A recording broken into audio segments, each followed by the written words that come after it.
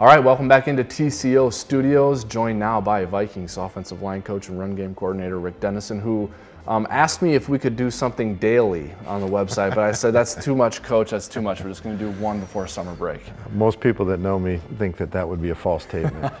yeah, you can see right through me. I'm just kidding. But we're, we are glad that you've come into the studio to share a little bit of your knowledge and for us to get to know you a little bit better because we haven't been introduced yet. So welcome into the studio. Thank you. How are you feeling so far? You, are into this thing for a few months now with the Minnesota Vikings. You've been in the NFL for a long time. How do you feel about this squad? Well, I, I love it. I mean, I, I, like the the energy the guys have. They all want to learn. They're they're very eager to go out and uh, do what they're told.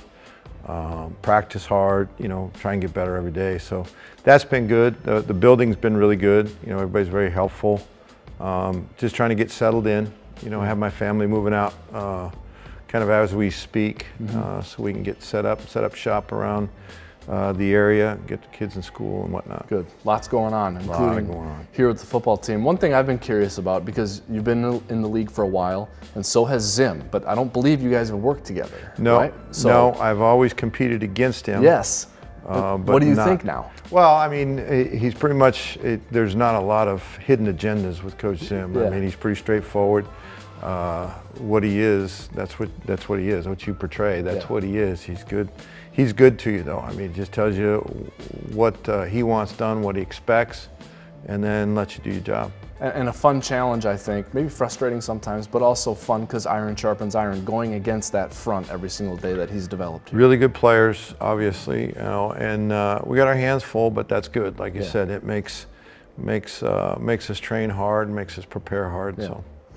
One of the first things that the Vikings did in the offseason was get to work on the offensive line with your hiring and with player acquisition. So some of the new players, tell us about them, whether it be Garrett Bradbury or Josh Kline. Some of these new additions that we've got here, how are they coming along? They're coming along well. You know, Josh has uh, played in the league. He's played a lot of good football and uh, can do what we do. So uh, after watching him and he became available, we were fortunate to mm -hmm. get him uh, in the fold, you know uh, guy I had last year, Dakota Dozier, was with the Jets and uh, had an opportunity to you know give us a, a, good player that knows what he's doing, good athlete. That's what we're trying to build is good athletes. You know, and we have some on the team. And, uh, went in the draft and and uh, we're fortunate enough to to get you know three good players in the draft in various various spots that you know obviously Garrett put him in, give him a chance right off, and then try and train Dru and, uh, and Oli and see how they develop. You know, it's, we get some veterans, and so we got a good mix of young and old, you know. Um, like I said, they, they come to work eager to learn and do what they do what you tell them to do. Yeah. What what was um, what was it like for you guys when you saw Garrett there, but you knew you had Pat Elflein, who you also really liked, and both guys who have played center and guard.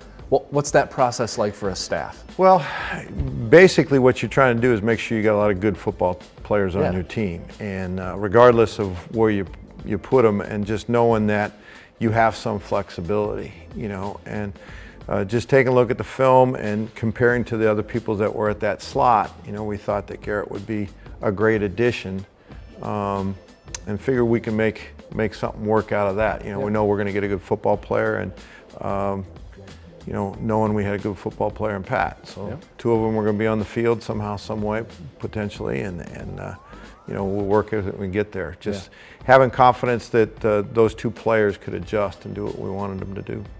With um, with the starting tackles from last year, Riley Reiff on the left side and Brian O'Neill on the right you know, with Brian O'Neill, um, the narrative when he was selected was he's a project. It's going to take him a couple years, but he got thrust into the action right away. You've watched the tape. I don't know how you feel. A lot of people feel he played pretty well. Uh, Riley Reiff is just, he kind of quietly goes under the radar and is just solid. So that's the unprofessional opinion of those two tackles. What's the professional opinion? Well, obviously, I see. I start with, uh, oh, do they know what they're doing? Mm -hmm. right? And both of them do. Both of them study. They play hard. They, they study hard. Uh, and and are professionals about getting a job. You know, Riley's played a lot of football, and his experience is, you know, it's vast and it's you, you can't replace it. He knows, uh, you know, what and and I like to play with what your body position, what how that guy is on your body. He knows how to play his body on a defender, mm -hmm. and he knows what to do with that. Um, So uh, he's been he's been great, you know, and trying to teach him, you know, things that I have worked with others before and see what he likes and. Uh, he's done a great job over there, he and Pat together. So, and then certainly with Brian, you know, he's very athletic, and just like you said, he played well. You know, mm-hmm. the the knock was too light, and you know, yeah. not strong enough, not stout enough. But he's really proven that to be wrong. I think he's done a great job.